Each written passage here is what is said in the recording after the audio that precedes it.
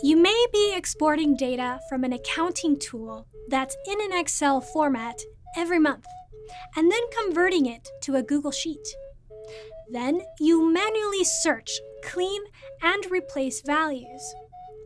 More specifically, you may probably spend a lot of time finding and replacing duplicates and performing advanced operations such as a VLOOKUP or a query function in order to pull data from other sheets or digging through records that use unfriendly date formats.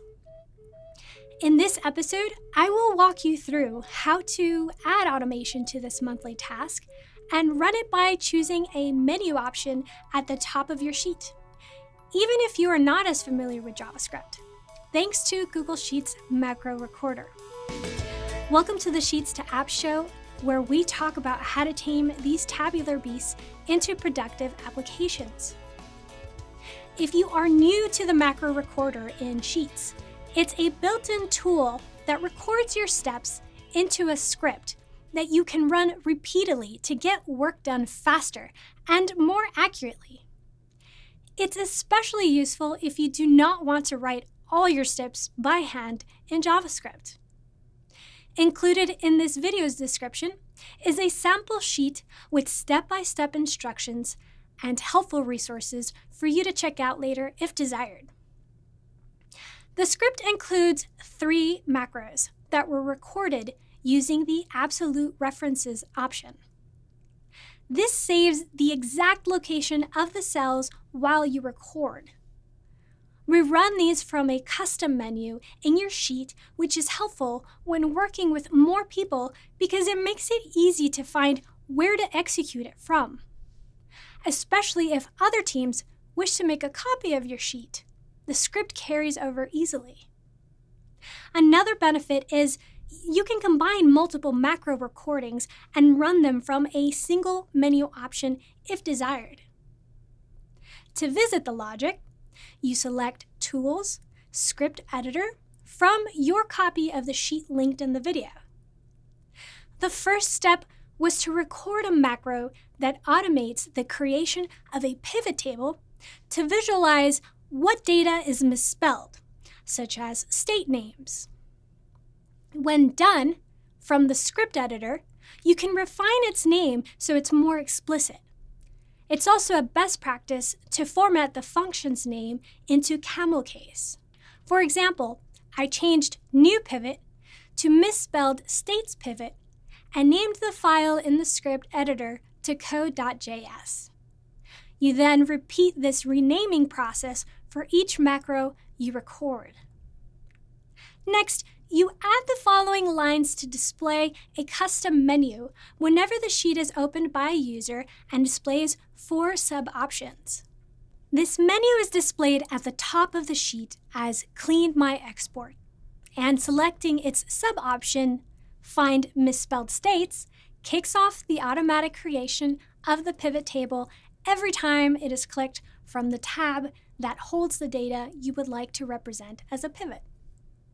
Note that the first time you use the custom menu, you are prompted to authorize your script or when you save new changes to your script. And if you encounter a warning page that says this app is not verified, then proceed to click Advanced, Go to, and the name of the sheet, and then Allow. Next, a new tab called Misspelled States is created with a pivot table inserted listing how many versions are misspelled as abbreviations, such as CA or NY. We fix this by using the Find and Replace feature under the Edit menu, since you can't use the macro recorder to automate this task at this time. The next macro in your custom menu matches each data entry to a particular Office code, since Office codes are not included in your system's export. The macro does this by recording you using a VLOOKUP formula that looks up states and office codes from another tab in your sheet, and then dragging that field down the entire column. Now you can select Clean My Export, look up office codes, and in a few seconds, it populates column E with the correct values for you. The third macro saves you time in having to split or modify unfriendly date formats. For example, your system may store dates as a blob of numbers like this. And you want to find all records that fall within January 2019. You then record your actions using the query formula to search for it in a table like this. Now, from the custom menu called Clean My Export, you can select Query 2019 Records, and it returns the values within that January 2019 period in table form. Note, once your script is created, you can always update it with new search criteria. For example, you can modify just a few digits if you change your search to a different year. And this way, you don't have to re record the macro from scratch. As mentioned earlier, you can execute multiple macros at once if they are performing tasks on the same page. For example, of the three macros I discussed, we can combine the VLOOKUP and query macros into one action, since they work on the same sheet and do not need to run in a particular order. The macro that creates a pivot table would not be a good fit to combine with the other two because it works from a different sheet.